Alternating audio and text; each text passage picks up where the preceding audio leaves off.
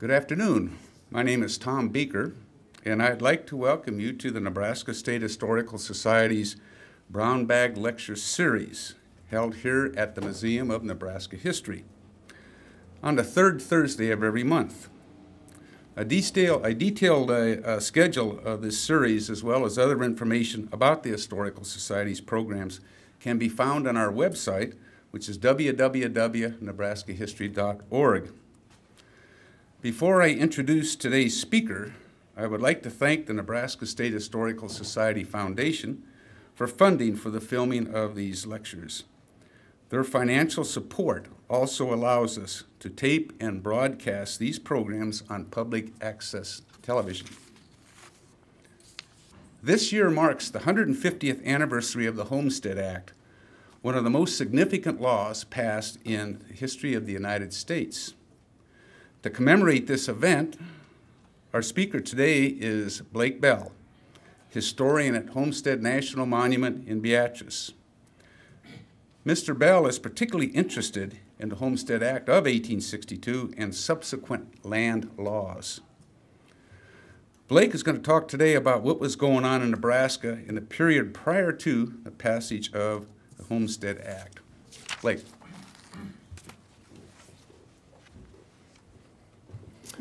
Thank you, Tom. Um, and I'd like to also thank the Nebraska State Historical Society for having me up here today. Um, the title of my talk is Fighting for the Homestead. This talk is really about a parallel history that's going on here. Yes, I will be talking about Nebraska, but in order to talk about Nebraska, we have to talk about Washington, D.C. as well. So we're going to look at what was this dialogue and in some cases, why were there violent outbreaks taking place over this territory, this Nebraska territory, the public lands, if you will. And we are going to try to see how all of this changed with the passage of the Homestead Act in 1862 and other land legislation at that time. The use of public lands. This was a serious point of contention uh, both in Washington, D.C. and in the territories. One of the issues, or the primary issue, was the issue of slavery. What was going? What was the ter- What were the territories going to look like? How were those territories going to be uh, settled? Is what the what we're talking about. Who was going to get them? And this is the conversation. This conversation starts uh, shortly after the creation of the United States, and we start acquiring public lands. We're going to talk about what these public lands are. Where are they? Who controlled them? Why did they control them? Louisiana Purchase in 1803 is a good starting point. Uh, Thomas Jefferson acquires the Louisiana Territory from France from Napoleon and literally doubles the size of the United States overnight. And this idea of what are we going to do with that land begins. And I think most of us know he sends a couple guys out, take a look at it. They come back, Lewis and Clark, and tell him that not a whole lot out there. One of my favorite stories is when they get back, they only have a drawing or two of this vast area and they asked, and Thomas Jefferson asked him, why? You guys drew pictures of everything. Why so few of this area you say so big? And their response was, because everything looks the same. No matter what direction you're looking, everything looks the same. So this area becomes known as, uh, most of us know, as the Great American Desert, is what they begin calling it. So what are we going to do with it? What are we going to do? Well, 20 years, 17 years goes by, and westward expansion is slowly but surely moving towards our uh, Mississippi River and beyond. And areas are becoming populated, but we have a problem. What is going to happen when those lands become so populated that they're going to be able to apply for statehood? Well, to keep the balance of power, they decide to admit Missouri as a slave state, even though it is above the traditional Mason Dixon line and admit Maine as a free state. This way, they're going to maintain this balance of power, political balance of power in Washington. And the Missouri Compromise says that all this other unorganized territory is not going to be, uh, or it's going to be free from here on out, above the Mason-Dixon line, and uh, the territories that we do not have yet, well, we're just going to deal with that later. We're just postponing this discussion, is what they're really doing. Henry Clay, get familiar with him. We're going to be talking about him in a few more minutes. Uh, he is the one who comes up with this idea, the great compromiser, Henry Clay. And Missouri's going to be the uh, slave state, Maine's going to be the uh, free state. And this slavery ban is going to be following this latitude line here. Frederick Merk said in 1978 that by 1820, slavery was apologized for as an evil to be alleviated by spreading it out thin over the West. I happen to disagree with Mr. Merk, Dr. Merk, I'm sorry. Actually, the Missouri Compromise just postponed the inevitable. What was coming? He did, they did the exact same thing that the revolutionary governments did. They just postponed it and they put it off. In fact, in the 1830s, you see gag orders being placed in, um, in, in, Congress. Uh, the Pinckney resolutions that come down say that Congress isn't even going to talk about slavery. We're not even going to look at petitions that are against slavery from the abolitionist movement. We're just not even going to talk about it.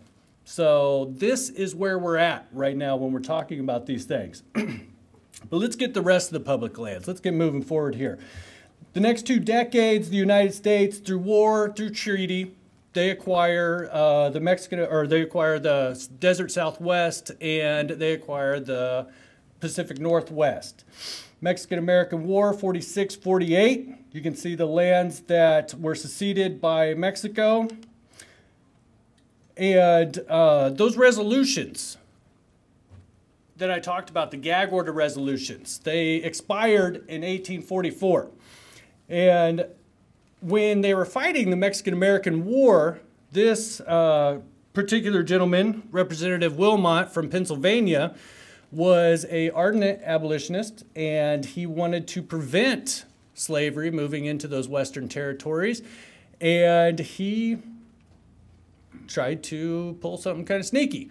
He wanted to add a uh, provision to the mexican uh, treaty that they were going to acquire in the mexican american war. Notice we have the first one that he tries in 46 the war started in 46 so this is a uh, very confident group of individuals. They're writing this uh, treaty prior to the war even being over.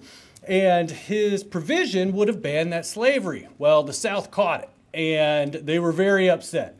This idea that, or this northern conspiracy is in place in the South. It's the seed has been planted. They're talking about, look at what Representative Wilmot did. Well, he didn't stop in 46. He tried it again in 47, and he tried it again in 48. Every one of them, well, by 47 and 48, they were on to him and they caught it, but he wasn't going to stop. And uh, ultimately, it did fail. Um, the political powers that be ensured that that provision was out of the treaty. The Oregon Treaty, 1846, we acquire the Oregon Territory. Uh, not too many issues going on here as far as slavery is concerned, but we are acquiring land and we are acquiring uh, more and more territory that needs to be discussed. By 1850, the continental United States looks very, very much like it does today. Washington, D.C. has to decide. They now are in control from the Atlantic to the Pacific and there's got to be a conversation, an honest conversation that takes place. Who controls these territories? How are they going to be settled? Congress was responsible for administering these territories. And this is important. Congress is responsible for administering these territories, even to this day, because of this, the property clause that's written into our Constitution. Article 4, Section 3, Clause 2 stops at clause two. Keep that in mind. Congress shall have power to dispose of and make all needful rules and regulations respecting the territory or other property belonging to the United States. Very simple. Anybody who had challenged it in the past had all failed all the way through the Supreme Court. So Congress needed to decide what they were going to do. Quick look at the 30s and 40s. You have some booms and busts that are driving northern small farmers to the cities as the north is rapidly industrializing. Southern plantations are growing, especially king cotton. They're getting more wealthy and uh, they're doing it off of slave labor. And both North and South economies are looking west. So it's not just political, it's economical too. What are we going to shape this West like? And this was the talk of the day Manifest Destiny. John O'Sullivan claims that it's our manifest destiny to overspread and possess the whole of the continent which Providence has given us. He says this in 1845. It's our manifest destiny. Whose manifest destiny? The North wants it to look the way they want it to look. The South wants it to look the way they want it to look. Whose manifest destiny is it? And how is it going to look? 1850s. This is an amazing time. Compromise of 1850 starts this all off. And it all has to center around California. What is California? It's applied for statehood, and is it going to be free or is it going to be slave? The South actually wanted to divide California in half, and the northern half was going to be North California, and it was going to be free. Southern half was going to be Southern California and going to be slave. Well, they conceded that the entire uh, state of California was going to be free, but they needed to have some pieces of legislation within this compromise of 1850. By the way, this was Henry Clay, our great compromiser, again, coming up with this. He was great at putting off these issues for a while. The Fugitive Slave Act was agreed upon. Now, the Fugitive Slave Act we're going to talk about in just a moment, but Essentially, what this legislation did was said to the North that if slaves escape to the North, it is your responsibility, if you see them, to return them to the South. And you have to let our slave catchers in to go get them. So they're basically telling the North, you're participating in this, uh, in this industry. Utah, New Mexico territories granted popular sovereignty Another great term of the day popular sovereignty. Congress is in charge of the public lands, but popular sovereignty is saying we're going to let you decide, let the people decide if you're going to have slave or you're going to have free economies. Then you have the Kansas Nebraska Act of 1854, one of uh, those events in history that you can really identify. A lot of historians look at this and they'll say this was the beginning, the real beginning of the Civil War. Battles were fought, bleeding Kansas. I think most of us are familiar with John Brown and his uh, rampage throughout Kansas.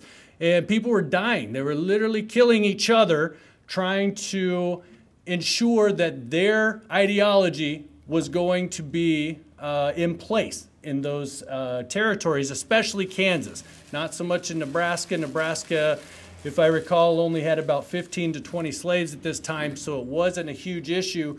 But Kansas border, most of its border was along Missouri. So Missouri is a slave state. They're pouring into this territory. Formation of the Republican Party really comes out of this Kansas Nebraska Act of 1854, and um, they are dedicated to this idea of free soil.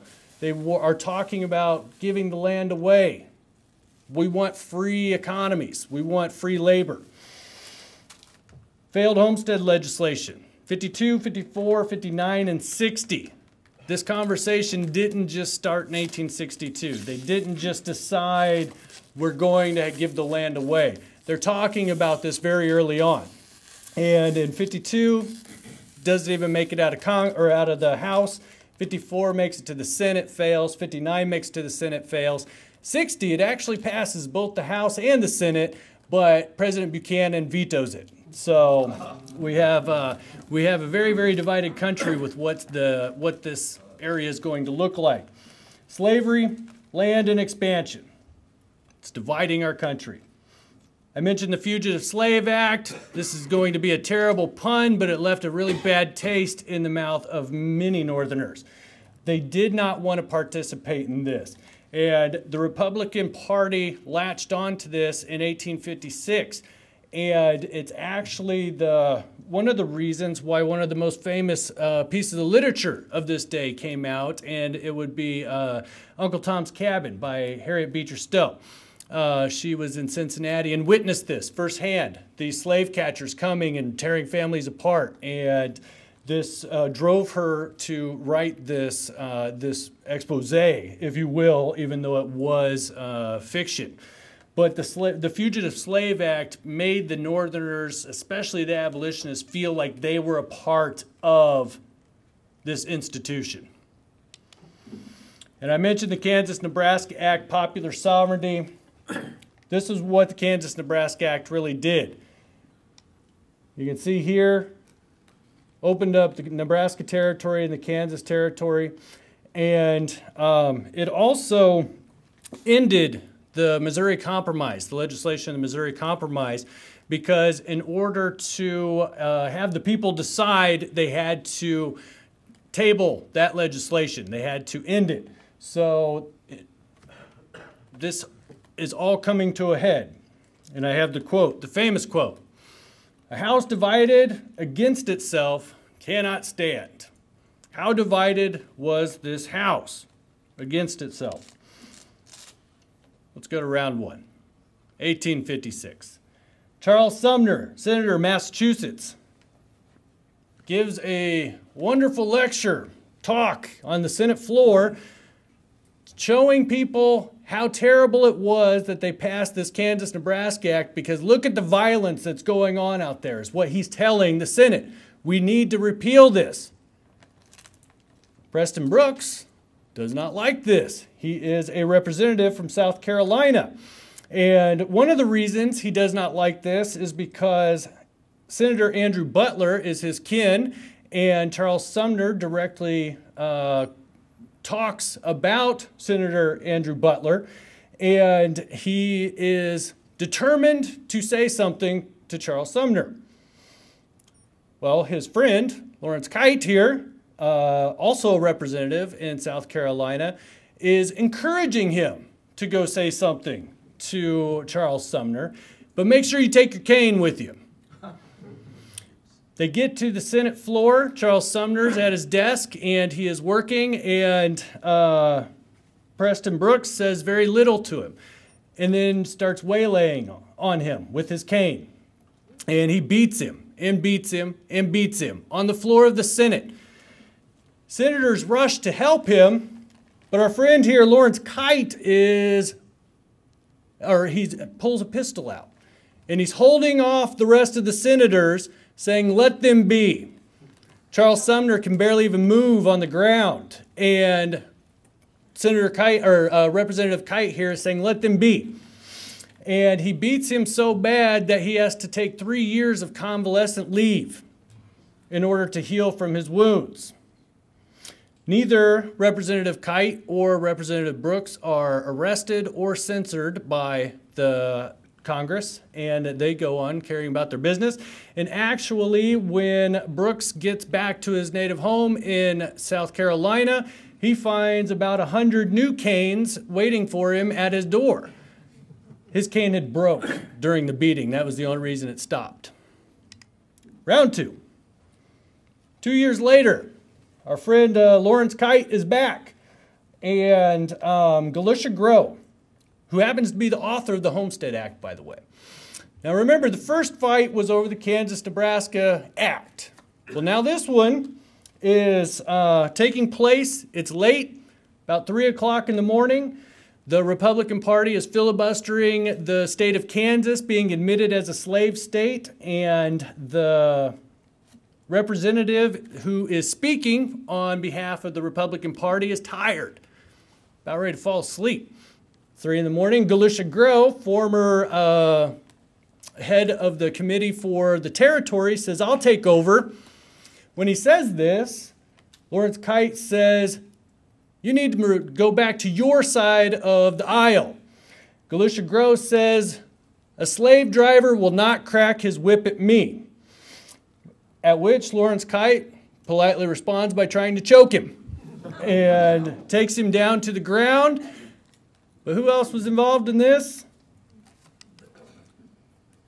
50 other congressmen break out into a melee at 3 o'clock in the morning, and they are all fighting over Kansas being admitted as a slave state.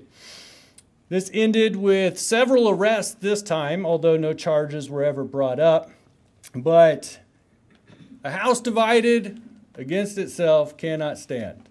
And what are they arguing about? The territories, and they're arguing about slavery.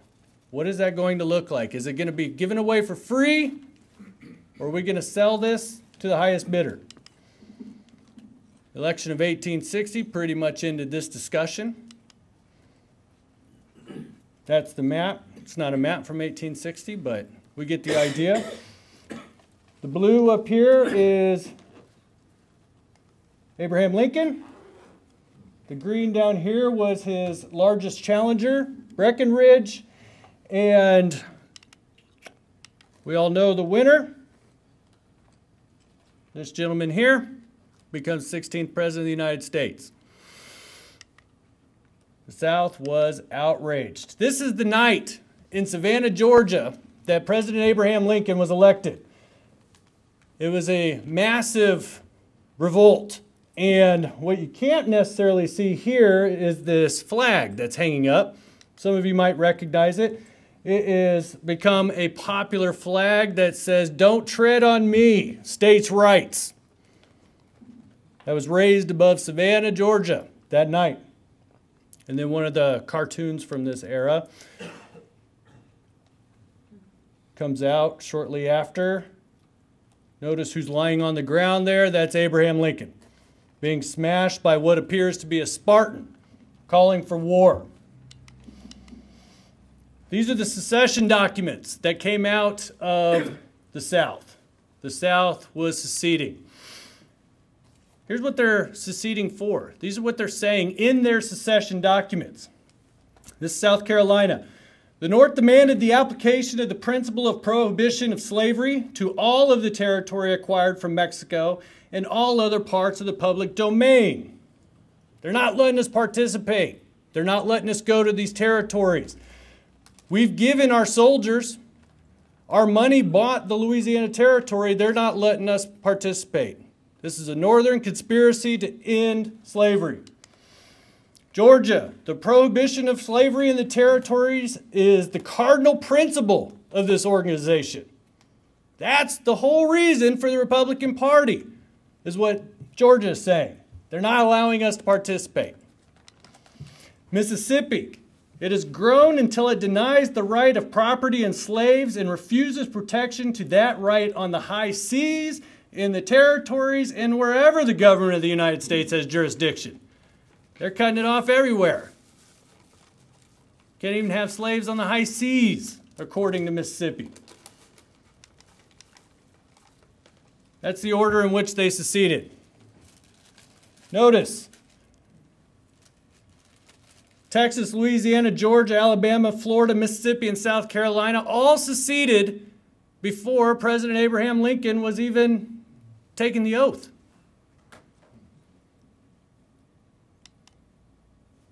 This is the Constitution of the Confederate States of America.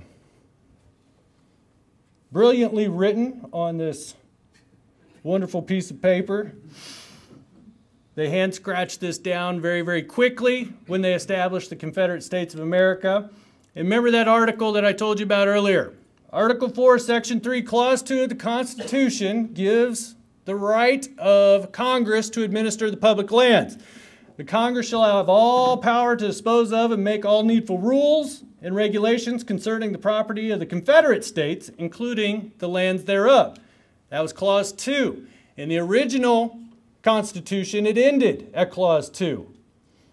But they had a Clause 3. In all such territory, the institution of Negro slavery, as it now exists in the Confederate States, shall be recognized and protected by Congress and by the territorial government and the inhabitants of the several Confederate States. They want slavery in their territories. That's what they're saying. That's what they want those territories to look like. This is the motivation of the South. This was the motivation of secession.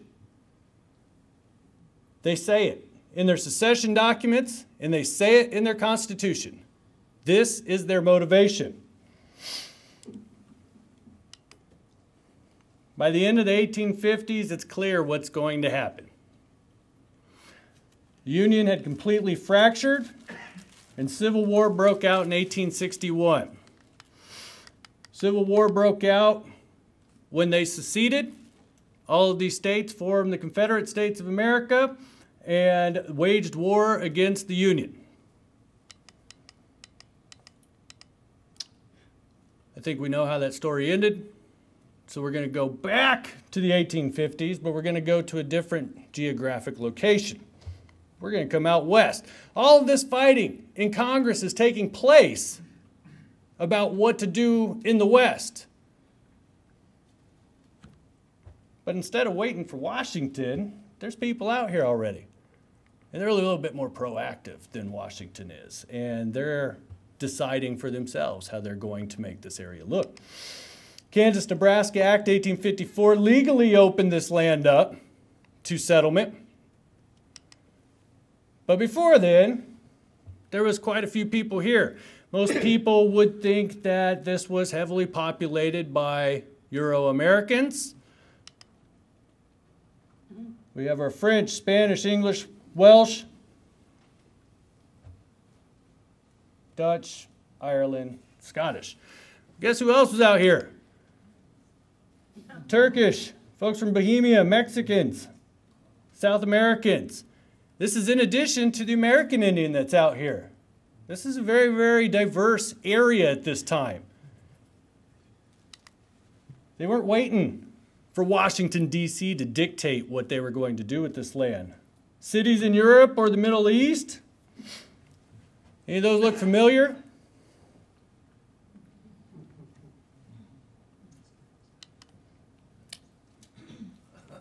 Well, yeah, but they're also cities in Nebraska. When folks would come, there was often tradition to name an area after either the capital of the region you came from or after the city that you had come from. So Nebraska was very, very diverse. This is before 1854 when they legally opened up the Nebraska Territory. What were they doing? How were they getting this land? Well, legally in 1854, we'll get back to 18, back to the 1850s here. We'll pull back to this uh, time period and uh, geographic region. But what they were doing is, after 1854, they were able to acquire land, uh, public land, via the Preemption Act of 1841. This provided actual settlers, notice I say actual settlers, with an opportunity to acquire 160 acres of land for $1.25 an acre. Comes out to about $200. And the condition was you had to begin to improve it. Must provide proof of improvements and pay $1.25 an acre within six months to a year after claiming this. If a settler failed to improve the land, uh, the land would go to auction. It was very, very simple. If you filed a preemption and you failed to prove up on it and paid the money, the land went to auction. Land had to be surveyed. Surveyors are out there and they are following Thomas Jefferson's guidelines that he outlined in 1785 in the Land Ordinance, which creates what we all now know as townships and our sections and quarter sections. Um, 160 acres is a quarter section. Notice I said actual settlers. Actual settlers are not speculators. Actual settlers were called squatters. Prior to 1854, Hope that wasn't something you needed. Prior to 1854, if you were out here and you were here before surveyors, you were considered what's called a squatter. They had their own way of handling disputes. They didn't have this land mapped under the Jeffersonian Land Ordinance, so they were operating on a metes and bounds system that says, I'll take the land from the river to the woods over there, or that fence to that fence. So they were not uh, they were not as organized as that land ordinance would be. And these disputes over the land uh, and settlement were to be judged by the register of the district. This was also something that would prevent speculation. If speculators came out and you were a squatter and they tried to come onto your land and push you off, they would go to these judges.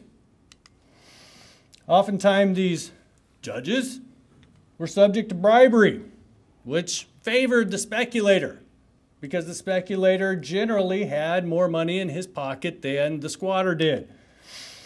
In the Nebraska Territory, there were certain associations that formed that allowed the actual settler, uh, that, that protected the actual settler, and they became commonly referred to as claim clubs. This map here is, notice 54, 55, 56, 57. Look how many people are already here. This is Bellevue. These are the sovereign, or these are the squatter sovereigns of Bellevue. That's their claim club name. And notice the dates. There's all those people here already. So Bellevue's already up and running at this time. And they are part of these claim clubs or claim associations. What was a claim club? I mentioned it's designed to promote settlement, protect the squatter, keep speculators away from their territory help solve disputes.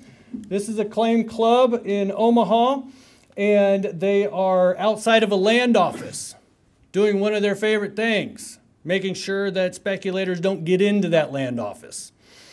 And they would form barriers like that. What else would they do here? Talk about their authority quick. The territorial legislature of Nebraska passed an act in 1855 that gave claim clubs the authority to, that allowed them to administer and operate legally within their districts. This was against federal legislation that said these organizations are illegal and cannot operate. There were no federal agents out here except for the land agents, and they were not too interested in messing with the claim clubs. And in addition, it said any claimant may protect and defend his possession by the proper civil action. Remember, civil action as we move forward here. These are some of the tactics they would employ. This is a recreation by Solomon Butcher, the Kearney Claim Club, standing outside of a land office. They had placed warnings in newspapers. These newspapers would say, Kearney Claim Club is going to be at this auction or they are going to be at this land office on this day, come at your own risk. They would fill the land office, making it so full that nobody else could get in there to ensure that nobody could come buy that land so that nobody could uh, make a claim on that land except for those individuals that were in the claim club. Or they would just fill the streets, as you can see here, making it impossible for anybody to get by. They would set up barricades around the streets and make it impossible for anybody to get over it unless you're part of the claim club. And if that didn't work, they would employ more persuasive techniques deemed extra legal was the term that I have read more often than any. Extra legal. I looked that up in the dictionary and cannot find it. but that made it legal ish, if you will, for them to do some of these other things. This here is a shack that they put together for their own purposes.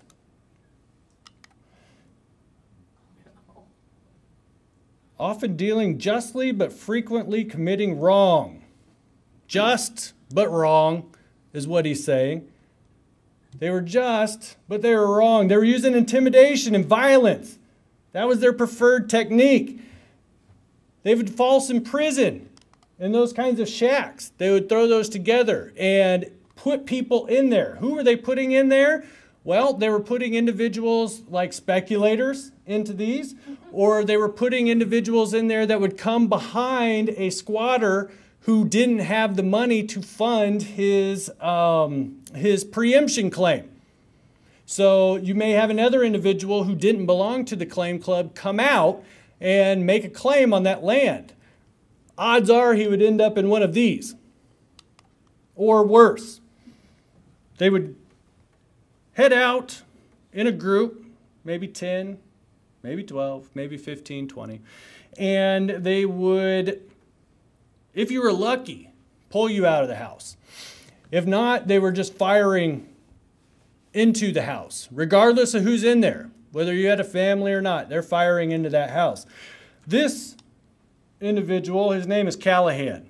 Now, this story has been told and told time and time again throughout history, and the location changes, uh, the characters involved change, but the situation never changes. So we can safely assume that somewhere something like this had happened.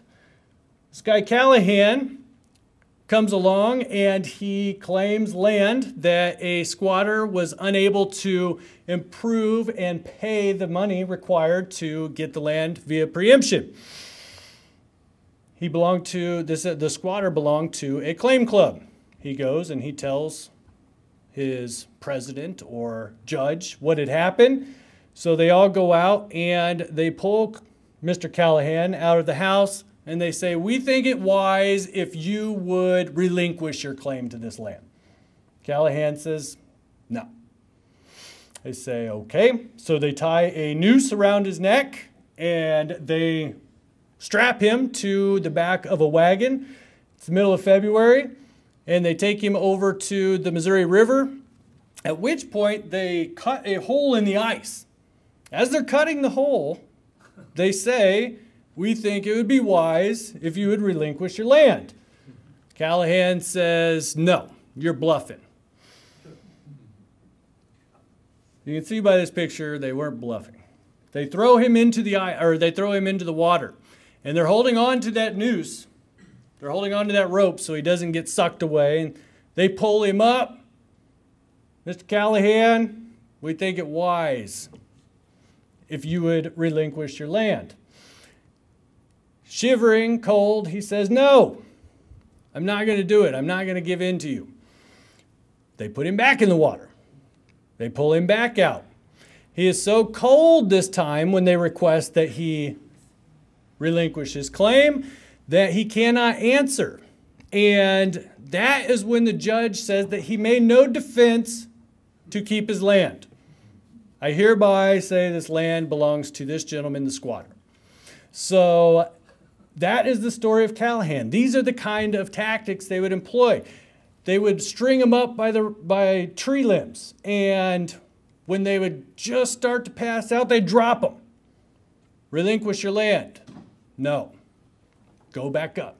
Until they were unconscious and were unable to put up a defense. The false imprisonment, they would keep them there until these individuals were so starved that they would then, just out of sheer hunger, relinquish their claims. Most stories that I did read, though, they were kind enough to feed them afterwards, and then they would send them on their way and tell them, please don't uh, return to this area. These are the kind of tactics we're talking about. This is what's happening in the Nebraska territory at this time. And I say Nebraska territory, but I did make this Nebraska centric, considering my location. This is a template that can be applied in Kansas, in Colorado, in the Dakotas, in Oregon, in New Mexico, in Arizona, this is happening all over the place. This isn't just happening in Nebraska. So these stories are from Nebraska, but this is a organization, uh, organizational uh, techniques that are being employed by these settlers in order to protect their land. The behavior was tolerated by the community. Claim clubs were seen as protectors. They were protecting the squatter. They were protecting that honorable individual coming out here attempting to make a living in the land. And they had the interest of the common people in mind. They were supporting the squatter, preventing speculation. And they would march. They would come together and march through these towns and let them know that they were there. They would come together, and the Omaha boomers were all over in Oklahoma. They were down there saying, Open this land up, open it up. And speculators beware if you show up. They would go around and they would organize these various claim clubs to ensure that they were, their presence was felt in all of these different areas. What about the laws? Where were the laws protecting them? Well, Nebraska, we know what happened. They passed a law saying this is justified. It's extra legal, but it's justified. Claim clubs were the law. They had a judge. They had a judge. They typically had the last say. There was no appeals process. Callahan didn't get to appeal to a territorial governor. Callahan didn't get to appeal to the United States. The only federal authority, as I mentioned before, were the land officers out there. There was no appeals process. This is important. Formal legal institutions had yet to be established. Territorial governments uh, had little authority.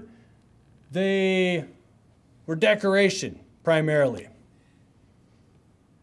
And they were always in constant flux. You go and you look at some place like the Wyoming Territory or the Dakota Territory. In the matter of five years, their territorial government may have changed five different times, four different times. So, who they were speaking to, who their people could appeal to, was never consistent. The claim clubs were consistent. Those legal institutions had not been formed. And those land officers, they had little interest in settling any disputes. They could care less. The more paperwork they filed, the better. They were getting paid by the file or by filing. That's how land officers made their money. So the more uh, paper they pushed, the more dollars they made. And your surveyors, all they were doing was trying to get the survey taken care of, get those books created to get back to the land officers. What brought the Claim Club era to an end? 37th Congress. Here in 1862, the South had seceded, and we have a Northern Congress that is made up of primarily Lincoln Republicans. Another one of my favorite pictures. Sorry to keep cramming those on you. They passed three pieces of legislation that really bring about the beginning of the end for these claim clubs. The Pacific Railway Act of 1862 creates the legislation necessary to uh, uh, build a transcontinental railroad, creates the Union Pacific, provides millions and millions of acres of public land to be sold by those railroads to raise the funds necessary to build that uh, transcontinental railroad. So the federal government is moving into this area. They're going to start building a railroad, which means they're going to start bringing people out here by rail. The Morrill College Act, also 1862, gave away 30,000 acres of land per representative in Congress to each state. So if you had three representatives in Congress, maybe two senators and one uh, House of Representative, then you would have 90,000 acres of public land to be sold to the public. And whatever you raise from this, uh, from this piece of legislation, you were then to use those funds to build what are now traditionally called our land grant colleges.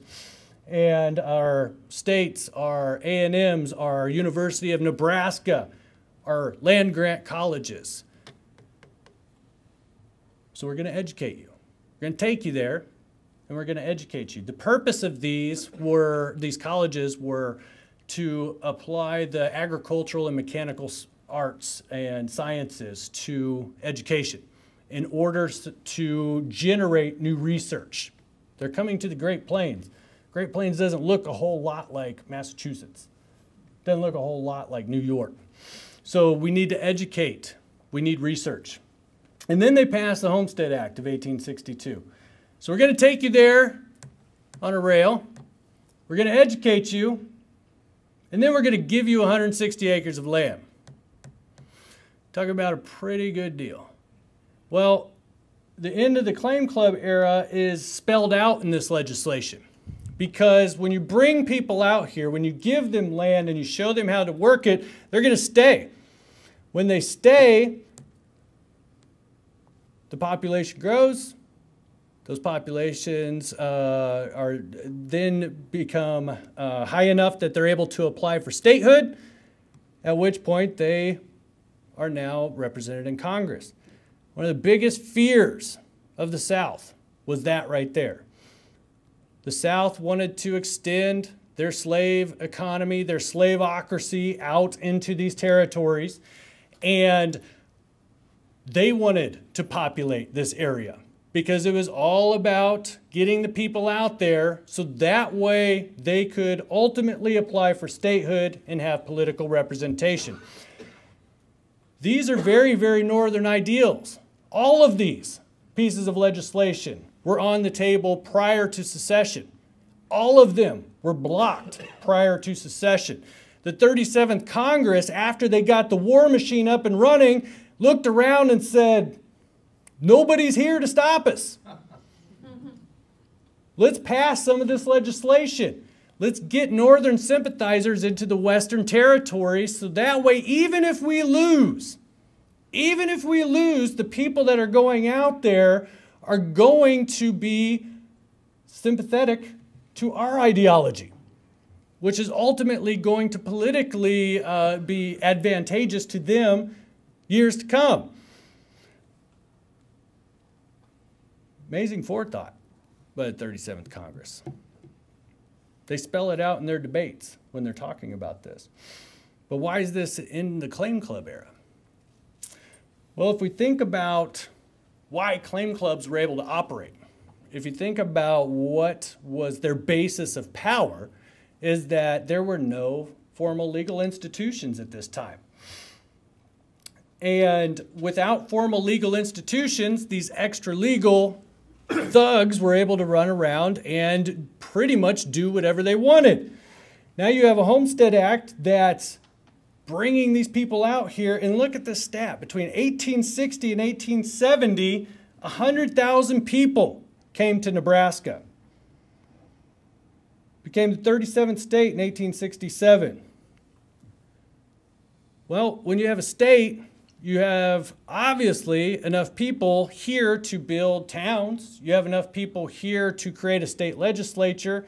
And you have enough people here to create those legal institutions.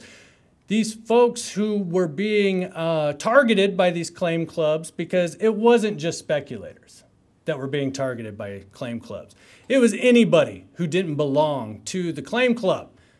So whether you wanted to participate or not in uh, farming as a actual settler, you had to have belonged to one of these claim clubs. So they didn't have appeals process. They didn't have anybody else to turn to. So these legal institutions gave them that uh, that authority that they needed and gave them a, uh, a, a police force to go to, gave them a judge outside of the claim club judge that was going to pass their uh, pass their verdict upon them, and they were going to be able to be tried by a jury, not just tried at the end of a noose by a uh, group of individuals that were going to ensure they got their way one way or the other. So you have the end of the claim club era coming in 1862. Most of our claim clubs are gone from the Great Plains by the end of the 1860s. Very, very short lived duration. Very short. And you have a group of individuals left uh, in, most of them had the land that they were looking for, but you have a group of individuals left that wrote a few of these stories down for us, and were able to look at it and see they were more proactive than uh, our friends back in Washington. Although Washington few of those uh, congressmen, I think, would have fit right in with some of these claim clubs after seeing the violence that uh, was ensuing on the floor of Congress. So, the Homestead Act, Pacific Railway Act, and the Morrill Act are really responsible for the end of this era. On behalf of Homestead National Monument of America, I thank you all.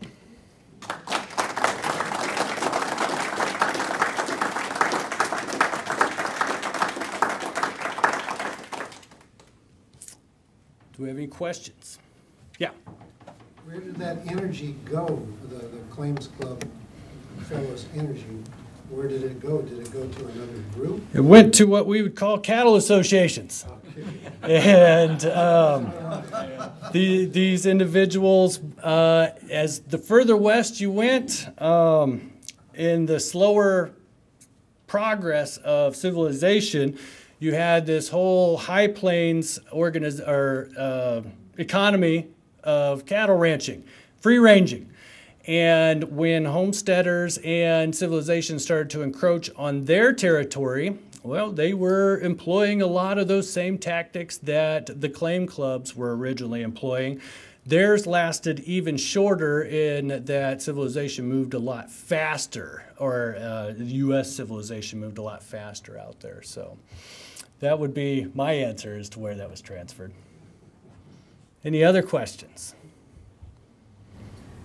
In- Yeah. In eastern Nebraska, people were still, there was still land available to homestead in like eighteen seventy-eight and times like that?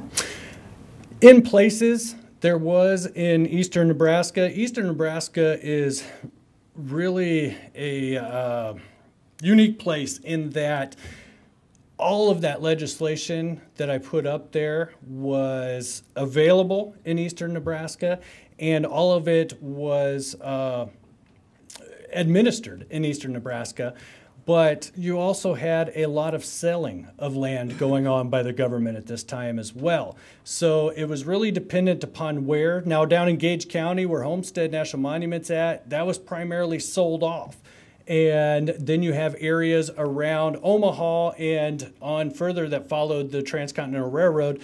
That area was primarily sold off every other section at a time. And then inside of those sections that were, or inside of that every other section checkerboard that was given to the railroads, you see some homesteading by Union soldiers at first because uh, it wasn't just opened up to homesteading everywhere near those railroads. You had to have been either a Union soldier or you had to buy that land directly for the government. So um, you see a good mix all over in eastern Nebraska. So everything was happening at once here. And then I have up in the sandhills some 1891. See, the Sandhills, uh, they they were interesting in their own right. Uh, 1891, yes, that would have been homesteading, uh, and they found it so difficult in the Sandhills that uh, actually in 1904 they passed what was called the Kincaid Act that uh, gave away a whole section, 640 acres, to individuals that uh, were willing to go out there with the same requirements of homesteading, but you just got more land because of the aridity of the land in the area out there. Yeah. Minor question, but you mentioned 160 acres uh, being the uh, entirety of the homestead. Uh, Were there not smaller parcels homesteaded as well? You, you could actually get up to 160 acres under the 1862 legislation, up to 160 acres. If you wanted to do homestead 40, 80, 120, you were more than welcome to. So, and and you had to do it in 40 acre parcels. So 160 was the max. Yeah. Was Nebraska more settled by land bought from the railroad or by the homestead? Uh, it would have been the railroad, honestly. The railroad in uh, in 1864 there was an act passed called an Act to Encourage Immigration, and what this act did was it was a government subsidized uh, marketing campaign to encourage railroads to go overseas and get uh, European immigrants to come to the United States and settle. And they, it was kind of a interesting contradiction because they were telling them, tell them about the free land. Well, you had just given the railroads millions of acres to sell. So you would see these beautiful advertisements saying, "Come to America, look at the land for or for cheap," is what they're saying. And then at the very bottom on a lot of these advertisements, it says, "Oh yeah, there's homestead land available too." so um, it, it, it was interesting, but the railroads were the primary uh, real estate agents at this time, and they were selling large swaths of land. Three In, in follow-up to his question, um, the railroad's got, what, ten miles on, on each side, a twenty-mile swath in checkerboard fashion or something? Yes. Along rivers, and so it'd be the prime land in the state, so the Homestead Act got the crummy land away from rivers and railroads? Yes, in a sense to answer that. But um, eastern Nebraska, once again, they had 10 miles on each side, so it was 20 miles. But the more arid regions, the, especially out in the sandhills and then even further west, they were getting 20 miles on each side. So, um, but it was every other section, and initially it wasn't opened up to homesteading. But homesteading in the vari- in those various areas eventually came online because the railroads, no ma- even though they were selling large amounts of land, they weren't able to sell it fast enough. And in order to be economically viable, because they made their money not through land, they were making their money through goods and services. And uh, when they were not able to sell that land fast enough, those railroads backed off and gave uh, and opened that land up to homesteaders because they needed people. People were the peop uh, what, how you generated funds. Yeah. Talk a little bit about school lands. That is Nebraska. School schools actually were part of that uh, land ordinance of 18 or 1785. Uh, when you created a township, a section was uh, typically dedicated to public education, to build a school. That's what they wanted. Or are you talking about uh, the Morrill Act? Well, there, well, the section. Oh, okay. Yeah, that, that was actually generated back uh, with that land ordinance of Thomas Jefferson's uh, 1785, and then followed up with the uh, land ordinance of uh, 1787, where they actually applied that to the Ohio Valley and uh, were able to create that section within the townships. Are there still those sections in the state? uh, That, seems to me that uh, the school, that they were allowed to sell some of that land. Well, uh, yeah, it's that that's really a locality issue. Um, I don't know. I know a lot of school districts, especially recently, have combined and those kinds of things, especially in our rural communities where uh, a lot of the population has uh, left those areas. So it's really a locality issue. It's not federally administered anymore. Yeah. This land giveaway uh, was primarily for the first railroad coming through, or for some of the branches that followed through the years? It, it, it really, the more, or the Pacific Railway Act was directly targeted at uh, the Transcontinental Railroad. But they didn't stop there. We're talking billions of acres were given away to railroads. Uh, the, the, as the land spider webbed, the only state that I know of that didn't do this was uh, North Dakota. And uh, but every other area they had massive swaths of land given to those railroads. So how many years did this go on? Uh, essentially into the early 20th century. So about the late 18, 1890s, it's really starting to uh, cease because it's ineffective. It, it's not raising any money. And those land grants were supposed to actually have been paid back to the government. And a lot of those uh, railroads issued uh, stock prior to a lot of the congressmen and things of that nature in order to uh, have confidence in their railroads, but uh, they, they failed. It looked a lot like uh, the tech industry in the 90s, so uh, they were failing quite often. Yeah, last question. How did the opening of the West uh, through the- the railroads, through through legislation, and the whole issue of the Indian population, how did that all work out? What, what, what took place? Uh, That's a big question, but how did the government deal with the Indian population? Removal and assimilation. Those, Sorry. removal and assimilation. You remove and you uh, try to assimilate. Uh, that's the reservation system. That's what was going on. And uh, they, that is the easiest way to say, or that's the simplest way to say it, is just removal and assimilation. That was their policy.